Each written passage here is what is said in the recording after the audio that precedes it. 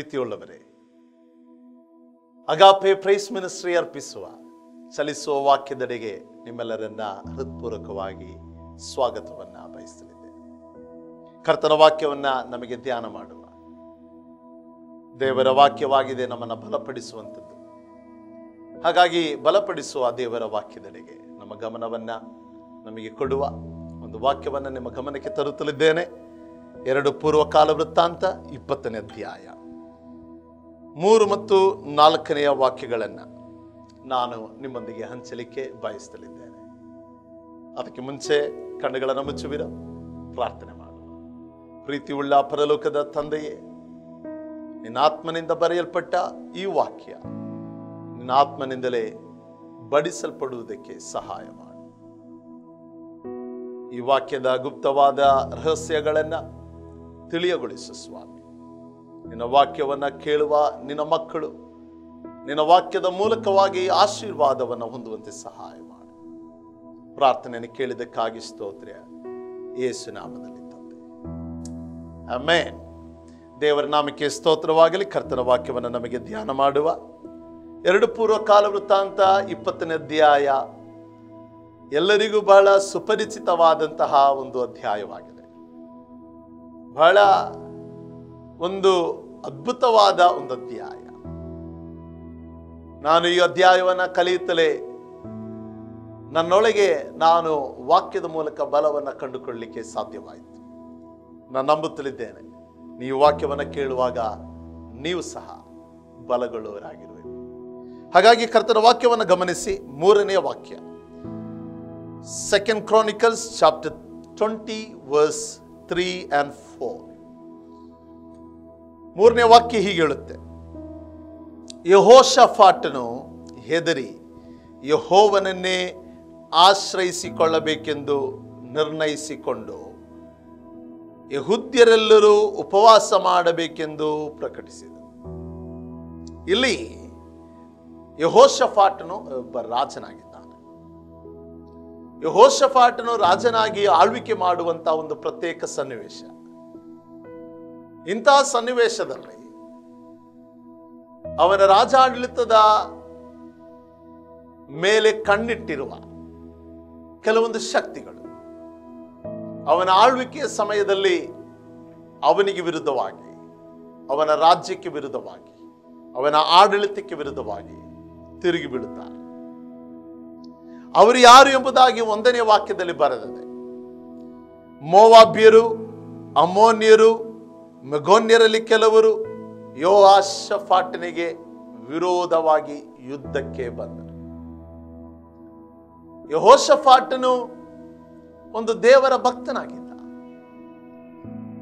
ದೇವರ ಭಕ್ತರಾಗಿ ಅವರು ದೇವಾಳ್ವಿಕೆಯನ್ನ ದೇವರ ಅಲ್ಲಿ ಆಶ್ರಯಿಸಿ ಆ ರಾಜ್ಯವನ್ನ ಆಳುತ್ತಿದ್ದಂತಹ ಒಂದು ವ್ಯಕ್ತಿಯಾಗಿದ್ದ.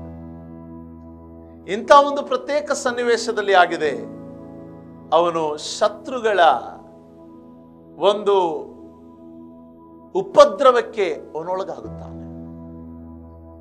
ಎಲ್ಲ ಕಡೆಗಳಿಂದಲೂ ಶತ್ರುಗಳು ಅವನಿಗೆ ವಿರುದ್ಧವಾಗಿ ಯುದ್ಧಕ್ಕಾಗಿ ಬಂದ ಒಂದು ಪ್ರತ್ಯೇಕ ಸನ್ನಿವೇಶ. ಇಂಥ ಸಂದರ್ಭದಲ್ಲಿ ಯಹೋಷಫಾಟ್ನು ಬಹಳವಾಗಿ ಹೆದರುತ್ತಾನೆ. ಬಹಳವಾಗಿ ಹೆದರುತ್ತಾನೆ. ಏನು ಮಾಡಲಿ? ಎಂಬುದಾಗಿ ದಿಕ್ಕು ಗುರಿ ಕಾಣದಂತಹ ಒಂದು ಅನುಭವ ಅವನಿಗೆ ಎದುರಾಗತ್ತೆ.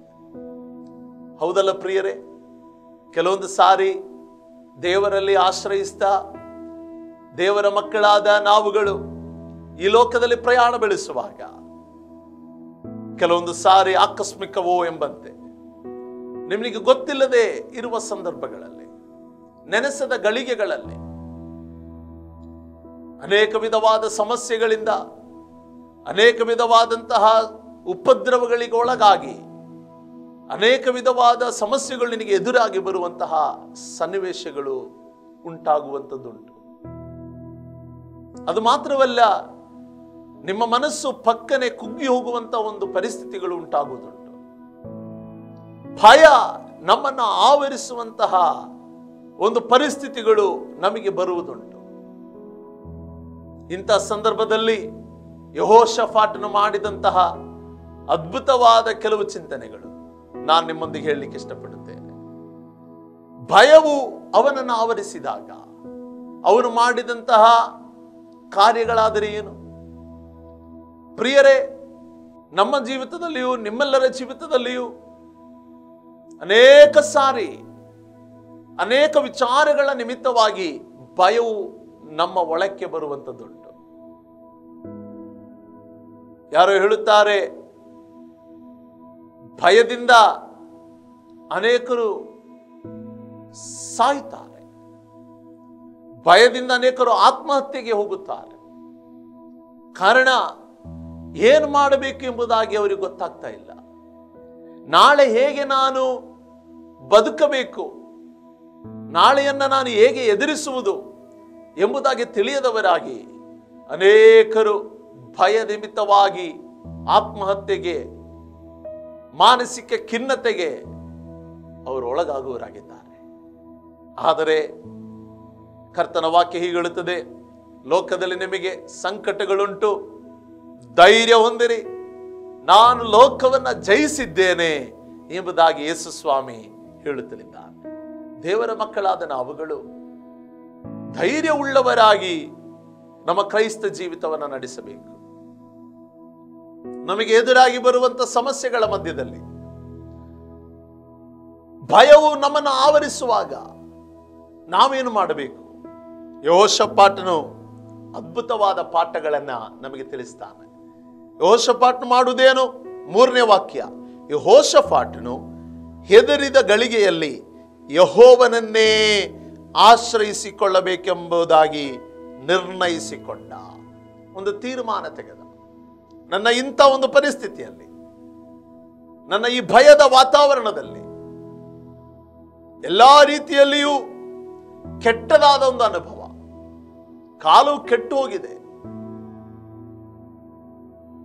ಅನೇಕರು ವಿರೋಧಿಗಳಾಗಿದ್ದಾರೆ. ಸತ್ಯವೇದ ಹೇಳುತ್ತೆ, ಮೂರನೇ ವಾಕ್ಯದಲ್ಲಿ ರಾಜನು ಎಚ್ಚರವಾದ. ರಾಜನು ಎಚ್ಚರಗೊಂಡ ಏನಕ್ಕಾಗಿ? To set his heart to seek the Lord ದೇವರನ್ನ ಅನ್ವೇಷಣೆ ಮಾಡುವುದಕ್ಕಾಗಿ, ದೇವರ ಮುಖವನ್ನು ನೋಡುವುದಕ್ಕಾಗಿ ಅವನ ಎಚ್ಚರಗೊಂಡ. ನನ್ನನ್ನು ಕೇಳುವಂತ ದೇವ ಮಕ್ಕಳೇ, ಕೆಲವೊಂದು ಸಾರಿ, ಕೆಲವೊಂದು ವಿಚಾರಗಳು ನಿನ್ನನ್ನು ಭಯಪಡಿಸಬಹುದು. ಇವತ್ತು ಈ ಸಂದೇಶವನ್ನು ಕೇಳುತ್ತಿರುವಾಗ ನಿನ್ನನ್ನು ಭಯಪಡಿಸುವಂಥ ವಿಚಾರ, ಅದು ಏನೇ ಆಗಿರಲಿ, ಒಂದು ವೇಳೆ ಭವಿಷ್ಯವಾಗಿರಬಹುದು, ಭವಿಷ್ಯದ ವಿಷಯವಾಗಿರುವುದು ನಿನ್ನನ್ನು ಭಯಪಡಿಸುವುದು. ನಾಳೆ ಎಂಬಂತಹ ಚಿಂತನೆ ಆಗಿರಬಹುದು ನಿನ್ನನ್ನು ಭಯಪಡಿಸುವುದು. ಸಾಲವಾಗಿರಬಹುದು ನಿನ್ನನ್ನು ಭಯಪಡಿಸುವಂಥದ್ದು. ರೋಗವಾಗಿರಬಹುದು ನಿನ್ನನ್ನು ಭಯಪಡಿಸುವಂಥದ್ದು. ಇವತ್ತು ನಿನ್ನನ್ನು ಭಯಪಡಿಸುವಂಥದ್ದು ಏನೇ ಆಗಿರಲಿ, ಪರಿಶುದ್ಧಾತ್ಮನು ಎಚ್ಚರಿಸುತ್ತಲಿದ್ದಾನೆ ಇಂಥ ಕಾಲದಲ್ಲಿ. ಭಯದಿಂದ ತುಂಬಿದ ಕಾಲ. ಇವತ್ತಿನ ಪ್ರಸ್ತುತ ಪರಿಸ್ಥಿತಿಗಳನ್ನ ಗಮನಿಸಿರಿ. ಮನೆಯಿಂದ ಬಿಟ್ಟು ಹೊರಕ್ಕೆ ಹೋಗಲಿಕ್ಕಾಗದ ಭಯಾನಕವಾದ ಕಾಲ. ಯಾರೊಂದಿಗೂ ಕೈ ಕೊಡಲಿಕ್ಕೆ ಶೆಕಿನ್ ಕೊಡ್ಲಿಕ್ಕಾಗದ ಕಾಲ. ಯಾರನ್ನ ಮುಖತ ಭೇಟಿಯಾಗ್ಲಿಕ್ಕೆ ಆಗದಂತಹ ಒಂದು ಕಾಲ. ಧೈರ್ಯವಾಗಿ ಮಾರ್ಕೆಟ್ಗೆ ಹೋಗಲಿಕ್ಕಾಗದ ಕಾಲ. ಒಟ್ಟು ಸೇರಿ ದೇವರನ್ನ ಆರಾಧನೆ ಮಾಡಲಿಕ್ಕೆ ಆಗದಂತ ಒಂದು ಕಾಲ, ಒಂದು ಭಯದ ಕಾಲ. ನಾವೇನು ಮಾಡಬೇಕು? ಕರ್ತರ ವಾಕ್ಯ ನಮಗೆ ಇಲ್ಲಿ ಬುದ್ಧಿ ಉಪದೇಶ ಕೊಡುತ್ತಲೇ ಉಂಟು. ನಾವು ಆತನನ್ನ ನೋಡುವುದಕ್ಕಾಗಿ ಎಚ್ಚರವಾಗಬೇಕು. ಯಹೋಶಫಾಟನು ಮಾಡಿದದೇ ಆಗಿದೆ. ಯಹೋಶಫಾಟನು ದೇವರ ಸಮ್ಮುಖದನ್ನ ಅನ್ವೇಷಣೆ ಮಾಡುವುದಕ್ಕಾಗಿ ಎಚ್ಚರಗೊಂಡ ಅವನು ನಿರ್ಣಯವನ್ನ ಮನಸ್ಸಿನೊಳಗೆ ಮಾಡಿದ. ಅವನು ತೀರ್ಮಾನವನ್ನ ಕೈಗೊಂಡ. ಅದೇನಂತ ಹೇಳಿದರೆ, ಯಹುದ್ಯರೆಲ್ಲರೂ ಉಪವಾಸ ಮಾಡಿ ದೇವರ ಸಂಗಡವಾಗಿದ್ದುಕೊಂಡು ಪ್ರಾರ್ಥಿಸಬೇಕೆಂಬುದಾಗಿ. ಅಂತ ಒಂದು ಕಾಲಕ್ಕೆ ನಾವು ಬಂದಿದ್ದೇವೆ ಪ್ರಿಯರೇ. ಹೌದು, ನಾವು ಈ ಪ್ರಸ್ತುತ ಪರಿಸ್ಥಿತಿಗಳಲ್ಲಿ ಮುಂದಕ್ಕೇನು ಹೇಗೆ ಎಂಬುದಾಗಿ ಉತ್ತರ ಇಲ್ಲದೆ ಹೋದ ಈ ಗಳಿಗೆಗಳಲ್ಲಿ ನಾವು ಮಾಡಬೇಕಾದ್ದು ಪ್ರಾರ್ಥನೆಯಲ್ಲಿ ಉಪವಾಸದೊಂದಿಗೆ ದೇವರ ಮುಖವನ್ನು ಅನ್ವೇಷಣೆ ಮಾಡುವಂಥದ್ದಾಗಿದೆ. ಕಾರಣ ನಮ್ಮ ಧೈರ್ಯ ಯಹೋವನಾಗಿದ್ದಾನೆ.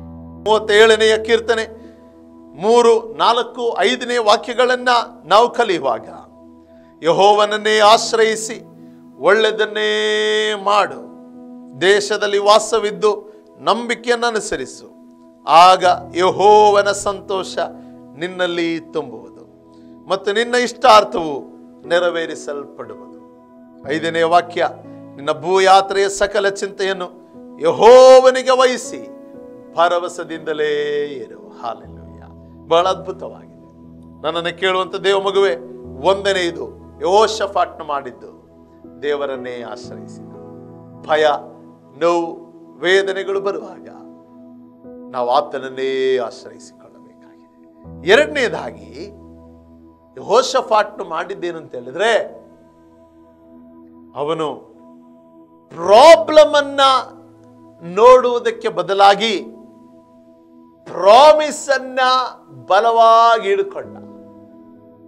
ಸಮಸ್ಯೆಗಳನ್ನ ನೋಡುವುದಕ್ಕೆ ಬದಲಾಗಿ ದೇವರ ವಾಗ್ದಾನಗಳನ್ನ ಗಟ್ಟಿ ಹಿಡಿದ ಕರ್ತರಿಗೆ ಸ್ತೋತ್ರವಾಗಲಿ. ದೇವರ ವಾಗ್ದಾನ ಅವನ ಮೇಲೆ ಇತ್ತು. ದೇವರ ವಾಗ್ದಾನ ಅವನ ಆಳ್ವಿಕೆಯ ಮೇಲೆ ಇತ್ತು. ದೇವರ ವಾಗ್ದಾನ ಅವನ ಜೀವಿತದ ಮೇಲೆ ಇತ್ತು. ದೇವರವನನ್ನು ಆಶೀರ್ವದಿಸುವನೆಂಬ ವಾಗ್ದಾನ ಅವನ ಮೇಲೆ ಇತ್ತು. ಸಮಸ್ಯೆಗಳು ಬಂದಾಗ, ವೇದನೆಗಳು ಬಂದಾಗ ಅವನ ಸಮಸ್ಯೆಗಳನ್ನ ಲಕ್ಷ್ಯವಿಡಲಿಲ್ಲ, ಬದಲಾಗಿ ದೇವರಿಂದ ಹೊಂದಿದ ವಾಗ್ದಾನಗಳಲ್ಲಿ ಗಟ್ಟಿಯಾಗಿ yes my dear friends of God ನನ್ನನ್ನು ಕೇಳುವಂತ ದೇವರ ಮಕ್ಕಳೇ set your heart to seek the Lord number one ಎರಡನೇದು stay focused on the promises of God not on the problems ನಿನ್ನ ದೃಷ್ಟಿ ದೇವರು ಕೊಟ್ಟ ವಾಗ್ದಾನಗಳಲ್ಲಿ ಆಗಿರಬೇಕೇ ಹೊರತು ನೀನು ಕಾಣುವ ಸಮಸ್ಯೆಗಳಲ್ಲಿ ಆಗಿರಬಾರದು. ಸಮಸ್ಯೆಗಳನ್ನು ಫೋಕಸ್ ಮಾಡುವುದು ಬೇಡ. ಸಮಸ್ಯೆಗಳನ್ನು ದೃಷ್ಟಿಸುವುದು ಬೇಡ. ಬದಲಾಗಿ ದೇವರಲ್ಲಿ ಆಶ್ರಯಿಸಿದರೆ ಸಾಕು. ಸಮಸ್ಯೆಗಳನ್ನು ನೋಡುವುದಕ್ಕೆ ಬದಲು ದೇವರೇ, ನೀನು ನನಗೆ ಕೊಟ್ಟ ವಾಗ್ದಾನ ನನ್ನ ಮೇಲೆ ಉಂಟು. ನೀನು ಕೊಟ್ಟ ವಾಗ್ದಾನ ನನ್ನ ಕುಟುಂಬದ ಮೇಲೆ ಉಂಟು. ನೀನು ಕೊಟ್ಟಿರುವ ವಾಗ್ದಾನ ನನ್ನ ಸೇವೆಯಲ್ಲಿ ಉಂಟು. ನೀನು ಕೊಟ್ಟಿರುವ ವಾಗ್ದಾನ ನನ್ನ ಮಕ್ಕಳ ಜೀವಿತದಲ್ಲಿ ಉಂಟು. ನಾನು ಭಯಪಡಲಾರೆ. ಹಾಲೆಲುಯ್ಯ ಎರಡು ಪೂರ್ವ ಕಾಲ ವೃತ್ತಾಂತ ಇಪ್ಪತ್ತನೇ ಅಧ್ಯಾಯದ ಹನ್ನೆರಡನೇ ವಾಕ್ಯದಲ್ಲಿ ಗಮನೀಯವಾದ ಒಂದು ಚಿಂತನೆ ಉಂಟು. ಅಲ್ಲಿ ಹೀಗೆ ನಾವು ನೋಡುತ್ತೇವೆ. ನಿಲ್ಲುವುದಕ್ಕೆ ನಮಗೆ ಬಲವಿಲ್ಲ. ಏನು ಮಾಡಬೇಕೆಂದೂ ತಿಳಿಯದು. ನಮ್ಮ ಕಣ್ಣುಗಳು, ದೇವರೇ, ನಿನ್ನನ್ನೇ ನೋಡುತ್ತವೆ ಎಂದು ಅವನು ಪ್ರಾರ್ಥಿಸಿದನು. ರಾಜನು ಪ್ರಾರ್ಥನೆ ಮಾಡುತ್ತಲಿದ್ದಾನೆ, ದೇವರೇ, ಬಲ ಇಲ್ಲ ದೇವರೇ, ಶಕ್ತಿ ಇಲ್ಲ. ಏನು ಮಾಡಬೇಕು ಎಂಬುದಾಗಿಯೂ ತಿಳಿತಾ ಇಲ್ಲ. ಹೌದಲ್ಲ? ಇವತ್ತಿನ ಪ್ರಸ್ತುತ ಪರಿಸ್ಥಿತಿಯನ್ನ ನೋಡಿ. ಕರ್ತನೆ, ಏನು ಮಾಡಬೇಕು ಅಂತ ತಿಳಿಯುತ್ತಾ ಇಲ್ಲ. ಹೊರಗೆ ಹೋಗ್ಲಿಕ್ಕೆ ಆಗ್ತಾ ಇಲ್ಲ. ಜನರನ್ನ ಸಂಧಿಸಲಿಕ್ಕೆ ಆಗ್ತಾ ಇಲ್ಲ.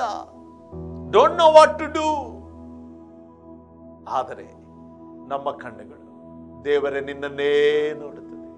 ಈ ದಿನದಲ್ಲಿ, ನಮ್ಮ ಜೀವಿತದಲ್ಲಿ ಕೆಲವೊಂದು ಸಮಸ್ಯೆಗಳ ಮುಂದೆ ನಿಲ್ಲುವ, ನಿನ್ನನ್ನೇ ಅವಲೋಕನ ಮಾಡಿ ನೋಡುವಾಗ, ನನ್ನನ್ನೇ ನಾನು ಅವಲೋಕನ ಮಾಡುವಾಗ ಏನು ಮಾಡಬೇಕು ಎಂಬುದಾಗಿ ಗೊತ್ತಿಲ್ಲದೆ ಯಹೋ ಶಫಾಟ್ನೆ ಹೇಳಿದ ಹಾಗೆ ಇವತ್ತೆಷ್ಟು ಜನರು ಹೇಳಲಿಕ್ಕೆ ಸಾಧ್ಯ, ಏನು ಮಾಡಬೇಕೆಂಬುದಾಗಿ ಗೊತ್ತಿಲ್ಲ. ಆದ್ರೆ ನಾನು ನಿನ್ನನ್ನೇ ನೋಡುವೆನು. ನಾನು ನಿನ್ನನ್ನೇ ನೋಡುವೆನು. ನಿನ್ನ ಮುಖವನ್ನೇ ನೋಡುವೆನು ಎಂಬುದಾಗಿ ಕರ್ತರಿಗೆ ಸ್ತೋತ್ರವಾಗಲಿ. ಅಲೆಗಳು ನಮ್ಮ ಜೀವಿತದಲ್ಲಿ ಸಮಸ್ಯೆಗಳು, ಅಲೆಗಳೋ ಪಾದಿಯಲ್ಲಿ ನಮ್ಮ ಮುಂದೆ ಬರಬಹುದು. ಆದರೆ ಅಲೆಗಳಿಗೆ ದೇವರ ವಾಗ್ದಾನವನ್ನು ಮುಳುಗಿಸಲಿಕ್ಕಾಗುವುದಿಲ್ಲ. ದೇವರ ವಾಗ್ದಾನಗಳ ಮೂಲಕ ಅಲೆಗಳನ್ನ ನಿನಗೆ ಜಯಿಸಲಿಕ್ಕೆ ಸಾಧ್ಯ ಉಂಟು ಆ ಹಾಡುಗಾರನ ಹಾಡ್ತಾನೆ ಬಿರುಗಾಳಿ, ಸುಳಿಗಾಳಿ, ಮಾತವನ್ನಗ ಎದುರ್ಕೋನ್ಪ ಶಕ್ತಿ ಎಂಕು ಕೊರುನಿ. ಧೈರ್ಯಾನು ತಪ್ಪದೆ ದುಂಬುಗುಪ್ಪವರೇ, ಇಮ್ಮಾನುವೇಲೆ ಎನ್ನಟ್ಟುಳ್ಳದ್ದ? ಓ ಕರ್ತ ಎನ್ನ ಆಶ್ರಯ, ಲೋಕಾದ ಪ್ರಯಾಸೊಳುಡು ನಿನ್ನಾನು ನಂಬುದೆ ದುಂಬೋಪಿಸಾದಿಡೆ ಸಾದಿಡೆ ಎನ್ನ ಆಧಾರ. ಹಾಲೆಲೂಯ ಬಿರುಗಾಳಿ ಬರಲಿ, ಸುಳಿಗಾಳಿ ಬರಲಿ, ಯಾವುದೇ ಅನುಭವಗಳೇ ಬರಲಿ. ಹಾಲೆಲೂಯ ನಾನು ನಿನ್ನಲ್ಲಿ ಆಶ್ರಯಿಸ್ತ, ನಾನು ಮುಂದಕ್ಕೆ ಹೋಗುವೆ, ಕಾರಣ ನೀನೇ ನನ್ನ ಆಧಾರ. ನೀನೇ ನನ್ನ ಆಧಾರ. ಕರ್ತನಿಗೆ ಸ್ತೋತ್ರವಾಗಲಿ. ಈ ದಿನದಲ್ಲಿ ತಿಳ್ಕೊಳ್ಬೇಕು. ಶಫಾಟ್ ನಮಗೆ ಕಲಿಸ್ತಲಿದ್ದಾನೆ. ಜೀವಿತದಲ್ಲಿ ಸಮಸ್ಯೆಗಳು ಎದುರಾಗುವಾಗ, ಚತುರ್ದಿಕ್ಕುಗಳಿಂದ ಶತ್ರುಗಳ ಹೋರಾಟಗಳು, ನೋವುಗಳು, ವೇದನೆಗಳು, ಸಮಸ್ಯೆಗಳು ಇವೆಲ್ಲ ಬರುವಾಗ ನಾವೇನು ಮಾಡಬೇಕು? ನಮ್ಮ ಹೃದಯವನ್ನ ದೇವರ ಬಳಿಗೆ ತರಬೇಕು. Set your heart to seek the Lord. Second focus on the promises of God not on the problems ಮೂರನೇದಾಗಿ ಕರ್ತರಿಗೆ ಸ್ತೋತ್ರವಾಗಲಿ. ಅಲ್ಲಿ ಹೇಳುದು ಸ್ಟ್ಯಾಂಡ್ ಬಿಫೋರ್ ದ ಲಾರ್ಡ್ ದೇವರ ಮುಂದೆ ನಾವು ಬರಬೇಕಾಗಿದೆ. ಸ್ಟ್ಯಾಂಡ್ ಬಿಫೋರ್ ದ ಲಾರ್ಡ್ ಜೀವಿತದಲ್ಲಿ ಎಲ್ಲವೂ ವಿರೋಧವಾಗುವಾಗಲೂ, ಎಲ್ಲವೂ ಸಮಸ್ಯೆಗಳಿಂದ ಕೂಡಿರುವಾಗಲೂ, ನಾವು, ನೀವು ಮಾಡಬೇಕದೊಂದೇ ದೇವರ ಮುಂದೆ ಬರಬೇಕು. ಎರಡು ಪೂರ್ವ ಕಾಲವೃತ್ತಾಂತ ಇಪ್ಪತ್ತನೇ ಅಧ್ಯಾಯದ ಹದಿಮೂರನೇ ವಾಕ್ಯದಲ್ಲಿ ಹೇಳುತ್ತದೆ, ಎಲ್ಲ ಯಹೂದ್ಯರು ಅವರ ಹೆಂಡತಿ ಅವರ ಮಕ್ಕಳು ಯಹೋವನ ಸನ್ನಿಧಿಯಲ್ಲಿ ನಿಂತರು. ಇವತ್ತು ಅಂತ ಒಂದು ಕಾಲಕ್ಕೆ ನಾವು ಬಂದಿದ್ದೇವೆ. ಇವತ್ತು ನಾವು ನಮ್ಮ ಕುಟುಂಬ, ನಮ್ಮ ಮಕ್ಕಳು ಯಹೋವನ ಸನ್ನಿಧಿಯಲ್ಲಿ ನಿಲ್ಲಬೇಕಾದ ಒಂದು ಸಮಯ. Come near to God as a family ಕುಟುಂಬವಾಗಿ ಹೆಂಡತಿ, ಮಕ್ಕಳು ಎಲ್ಲರೂ ಒಟ್ಟಾಗಿ ಸೇರಿ ದೇವರ ಸಂಗಡವಾಗಿ ನಿಲ್ಲುವ, ದೇವರ ಮುಂದೆ ನಿಲ್ಲುವ ಒಂದು ಕಾಲಕ್ಕೆ ನಾವು ಬಂದಿದ್ದೇವೆ. ನಮ್ಮ ಪ್ರಾರ್ಥನೆ ಗಟ್ಟಿಯಾಗಲಿ, ನಮ್ಮ ಕುಟುಂಬದ ಪ್ರಾರ್ಥನೆ ಗಟ್ಟಿಯಾಗಲಿ. ಹಾಲೆಲ್ಲೂಯ್ಯ. ಮುಂಚಿನ ಕಾಲಗಳಲ್ಲೆಲ್ಲ ಅಂತಹ ಒಂದು ದೈವ ಭಕ್ತಿ ಎಲ್ಲ ಮನೆಗಳಲ್ಲಿತ್ತು. ಬೆಳಗಿನ ಕುಟುಂಬ ಪ್ರಾರ್ಥನೆ, ಸಂಜೆಯ ಕುಟುಂಬ ಪ್ರಾರ್ಥನೆ, ಎಲ್ಲರೂ ಒಟ್ಟಾಗಿ ಸೇರಿ ದೇವರ ಮುಂದೆ ಬಂದು ನಿಲ್ಲುವಂತಹ ಒಂದು ಸಮಯ. ಇವತ್ತು ಮುಂದುವರಿದ ಒಂದು ಕಾಲಕ್ಕೆ ಬಂದಾಗ ಎಲ್ಲರೂ ಅವರವರಾಗಿ ಸಣ್ಣ ಸಣ್ಣ ಪ್ರಾರ್ಥನೆಗಳನ್ನು ಮಾಡಿ ಕಾಲಗಳನ್ನು ಮುಂದೂಡುವುದನ್ನು ನೋಡುತ್ತೇವೆ. ಲೆಟ್ ಅಸ್ ಕಮ್ ಬ್ಯಾಕ್ ನಾವೆಲ್ಲರೂ ಒಟ್ಟಾಗಿ ಹಿಂದಕ್ಕೆ ಬಂದು ಈ ಒಂದು ಅನುಭವಕ್ಕೆ ಅನುಭೂತಿಗೆ ಒಳಪಡಬೇಕು ಕರ್ತನ ವಾಕ್ಯ ಹೇಳತ್ತೆ. ಅವರು ಯಹುದ್ಯರು, ಅವರ ಹೆಂಡತಿಯರು, ಅವರ ಮಕ್ಕಳು ಯಹೋವನ ಸನ್ನಿಧಿಯಲ್ಲಿ ನಿಂತರು. In one unity in oneness ಒಂದೇ ಮನಸ್ಸುಳ್ಳವರಾಗಿ ಐಕ್ಯ ಭಾವದಿಂದ ಒಟ್ಟಾಗಿ ದೇವರ ಬಳಿಗೆ ಬಂದರು. ಹೌದು ಪ್ರಿಯರೇ, ಈ ಕಾಲದಲ್ಲಿ ಒಟ್ಟಾಗಿ ಸೇರಬೇಕಾಗಿದೆ. First set the heart to seek the Lord ಎರಡು focus on the promises of God not on the problems third stand before the Lord ದೇವರ ಮುಂದೆ ನಿಲ್ಲಬೇಕು. ಇನ್ನು ನಾಲ್ಕನೇದು steadfastly wait for the Holy Spirit ಜೀವಿತದಲ್ಲಿ ಸಮಸ್ಯೆಗಳು ಬರುವಾಗ ನಾವು ಮಾಡಬೇಕಾದ ನಾಲ್ಕನೆಯ ಪಾಠ ಯಹೋಷಫಾಟನು ಪರಿಶುದ್ಧಾತ್ಮನ ಸಹಾಯಕ್ಕಾಗಿ ಕಾಯುತ್ತಲೇ ಇದ್ದರು. ಇಪ್ಪತ್ತನೇ ಅಧ್ಯಾಯದ ಹದಿನಾಲ್ಕನೇ ವಾಕ್ಯವನ್ನು ಗಮನಿಸಿ. ಅಲ್ಲಿ ಹೀಗೆ ಹೇಳುತ್ತದೆ, ದೇವರ ಆತ್ಮವರ ಮೇಲೆ ಬಂದದ್ದಾಗಿಯೂ ಅದಕ್ಕಾಗಿ ಅವರು ಕಾದದ್ದಾಗಿಯೂ ನಾವು ನೋಡುತ್ತೇವೆ. ಹೌದು ಪ್ರಿಯ ಪರಿಶುದ್ಧಾತ್ಮನ ಸಹಾಯ ನಮಗೆ ಬೇಕು. ಈ ಲೋಕದಲ್ಲಿ ನಾವು ಜೀವಿಸಲಿಕ್ಕೆ ನಮ್ಮನ್ನು ಬಲಪಡಿಸುವ ಪರ್ಯಾಪ್ತ ಶಕ್ತಿ ಅದು ಪರಿಶುದ್ಧಾತ್ಮನಾಗಿದ್ದಾನೆ. ಒಮ್ಮೆ ಒಬ್ಬ ಸೇವಕರ ಬಳಿಗೆ ಬಂದು ಹೇಳಿದ, ಪಾಸ್ಟರ್, ಸೇವಕರೇ, ಅಯ್ಯ, ನನಗೆ ಪರಿಶುದ್ಧಾತ್ಮನ ಸಿಕ್ಕಿತ್ತು. ಸೇವಕರವನಿಗೆ ತಿರುಗಿ ಕೇಳಿದ, ಯವನಸ್ಥನೇ, ಹೌದು, ನಿನಗೆ ಪರಿಶುದ್ಧಾತ್ಮನ ಸಿಕ್ಕಿದ್ದು ಹೌದು, ಆದರೆ ಪರಿಶುದ್ಧಾತ್ಮನಿಗೆ ನಿನ್ನನ್ನು ಸಿಕ್ಕಿತ ಇದೊಂದು ಪ್ರಶ್ನೆ ಅಲ್ಲವೇ ಇದು ಬಹಳ ಗಮನೀಯವಾದ ಪ್ರಶ್ನೆ ಅಲ್ಲವೇ ಪರಿಶುದ್ಧಾತ್ಮನ ನಿನಗೆ ಸಿಕ್ಕಿದ್ದು ಹೌದು, ಆದರೆ ಪರಿಶುದ್ಧಾತ್ಮನಿಗೆ ನೀನು ಸಿಕ್ಕಿದೆಯಾ? ಪರಿಶುದ್ಧಾತ್ಮನಿಗೆ ನೀನು ಸಿಗಬೇಕು. ಪರಿಶುದ್ಧಾತ್ಮನಿಗೆ ನಿನ್ನ ಕುಟುಂಬ ಸಿಗಬೇಕು. ಪರಿಶುದ್ಧಾತ್ಮನಿಗೆ ನಿನ್ನ ಸೇವೆ ಸಿಗಬೇಕು. ಪರಿಶುದ್ಧಾತ್ಮನಿಗೆ ನಿನ್ನ ಜೀವಿತವೇ ಸಿಗಬೇಕು. ಲೆಟ್ ಹೋಲಿ ಸ್ಪಿರಿಟ್ ಪರಿಶುದ್ಧಾತ್ಮನಿಗೆ ನೀನು ಸಿಗಬೇಕು. ಹಾಗಾಗಿ ನಾವು ಪರಿಶುದ್ಧಾತ್ಮನಿಗೆ ವಿಧೇಯಪಡಿಸಿಕೊಳ್ಳಬೇಕಾಗಿದೆ. ಒಂದನೆಯದು ದೇವರ ಮುಖವನ್ನು ಅನ್ವೇಷಣೆ ಮಾಡಬೇಕು. ಎರಡು ಸಮಸ್ಯೆಗಳನ್ನು ನೋಡದೆ ವಾಗ್ದಾನಗಳನ್ನೇ ನೋಡಬೇಕು. ಮೂರನೆಯದು ದೇವರ ಸನ್ನಿಧಾನದ ಮುಂದೆ ನಾವು ಕುಟುಂಬವಾಗಿ ಬಂದು ಸೇರಬೇಕು. ನಾಲ್ಕು, ಪರಿಶುದ್ಧಾತ್ಮನನ್ನ ನಾವು ಎದುರು ನೋಡುವವರಾಗಿರಬೇಕು ಐದನೆಯ ಕಾರ್ಯವನ್ನು ನಿಮ್ಮ ಮುಂದಿಗೆ ಹೇಳಿ, ನಾನು ನಿಲ್ಲಿಸ್ತೇನೆ. ಯಹೋಷಫಾಟ್ನು ಅವನ ಸಮಸ್ಯೆಗಳು ಬಂದಾಗ, ಇನ್ನು ಅವರು ಹೋರಾಟ ಮಾಡಲಿಲ್ಲ. ಇನ್ನೇನೋ ಅವರು ಯುದ್ಧ ಮಾಡಲಿಕ್ಕೆ ಅಲ್ಲಿ ಇನ್ನೂ ಹೋಗಲಿಲ್ಲ. ಆದರೆ ಯುದ್ಧ ಮಾಡುವುದಕ್ಕೆ ಮುಂಚೆ ಅವರು ಜಯವನ್ನ ಅವರು ಕೊಂಡಾಡಿದರು.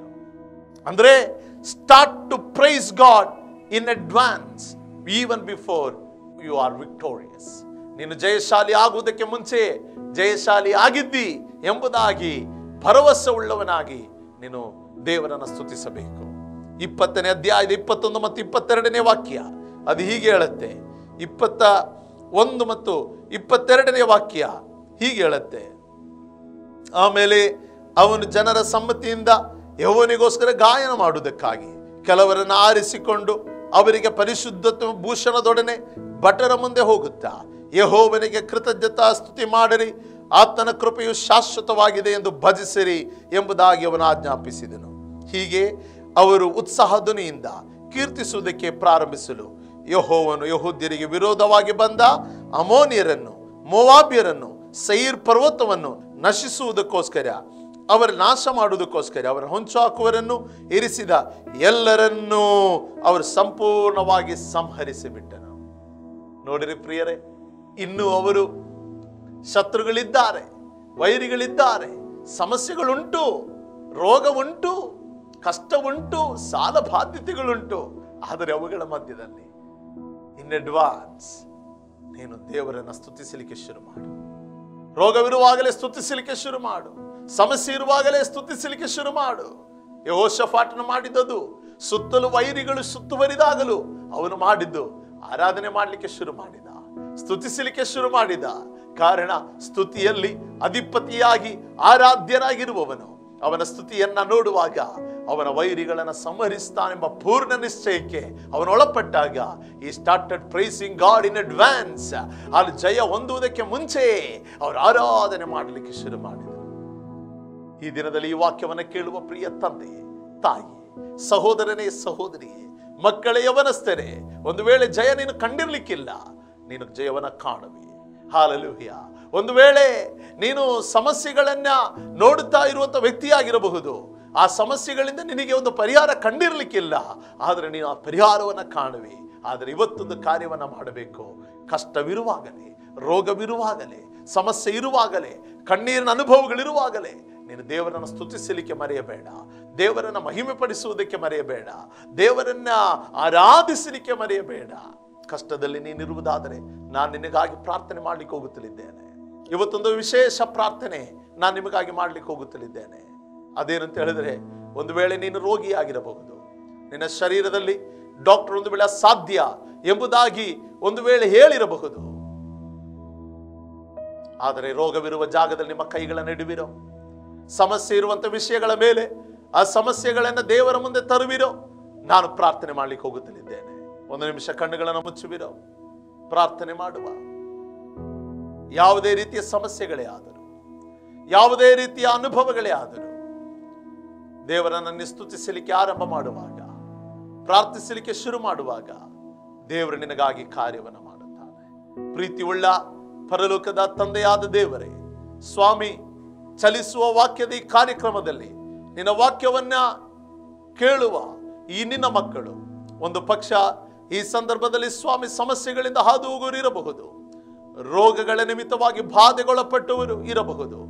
ಈ ಸಂದರ್ಭದಲ್ಲಿ ನಿನ್ನ ಸೇವಕನಾಗಿ ನಾನು ಪ್ರಾರ್ಥನೆ ಮಾಡುವಾಗ ರೋಗಿಗಳಾಗಿರುವವರು, ಅವರು ರೋಗವಿರುವಂತಹ ಅವರ ಶರೀರದ ಅವಯಗಳ ಮೇಲೆ ನಂಬಿಕೆಯ ಮೂಲಕ ಕೈಗಳನ್ನಿಟ್ಟು ಇರುವಾಗ ಒಂದು ಕರ್ತನೆ ಸೇವಕರು ಕರ್ತದೇವರೇ ಹೋಗಿ ಪ್ರಾರ್ಥನೆ ಮಾಡುವ ಹಾಗೆ. ಕರ್ತದೇವರೇ ನಿನ್ನ ಅದೃಶ್ಯವಾದ ಹಸ್ತ ನಿನ್ನ ಮಕ್ಕಳ ಮೇಲೆ ಈಗಲೇ ಬರಲಿ ಎಂಬುದಾಗಿ ನಾನು ಪ್ರಾರ್ಥನೆ ಮಾಡುತ್ತಲಿದ್ದೇನೆ. ಆ ರೋಗವ, ಆ ಶಕ್ತಿಗಳು ಯೇಸುವಿನ ನಾಮದಲ್ಲಿ ಪ್ರತ್ಯಕ್ಷವಾಗಲಿ. ನಿನ್ನ ಮಕ್ಕಳ ನಂಬಿಕೆ ಅದ್ಭುತವಾದ ಬಿಡುಗಡೆಯನ್ನ ತರುವಂತದಾಗಲಿ ಸ್ವಾಮಿ. ನಂಬಿಕೆಯಿಂದ ಪ್ರಾರ್ಥನೆ ಮಾಡುವಾಗ ಕರ್ತನೆಯ ಆ ಸಮಸ್ಯೆಗಳು, ಆ ನೋವುಗಳು, ಆ ವೇದನೆಗಳು ಆ ಎಲ್ಲ ಅನುಭವಗಳ ಮಧ್ಯದಲ್ಲಿ ಕರ್ತನ ಜಯವನ್ನ ಕೊಟ್ಟು ನಡೆಸು, ಜಯವನ್ನ ಕೊಟ್ಟು ನಡೆಸು.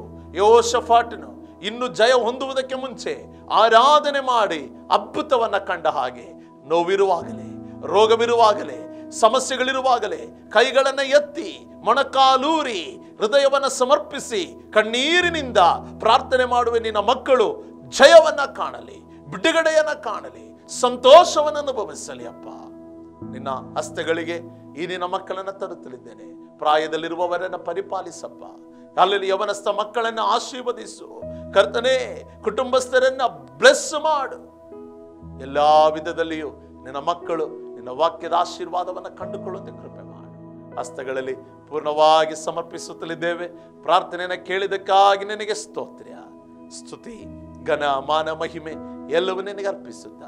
ಯೇಸುವಿನ ನಾಮದಲ್ಲಿ ಬೇಡುತ್ತಲಿದ್ದೇವೆ. ತಂದೆಯೇ ಆಮೆ ದೇವರು ನಿಮ್ಮನ್ನು ಆಶೀರ್ವದಿಸಲಿ ಬರುವ ಸಂಚಿಕೆಯಲ್ಲಿ ಇನ್ನೊಂದು ವಿಚಾರದೊಂದಿಗೆ ಒಟ್ಟಿಗೆ ಮತ್ತು ಸಂಧಿಸುವ ಗಾಡ್ ಬ್ಲೆಸ್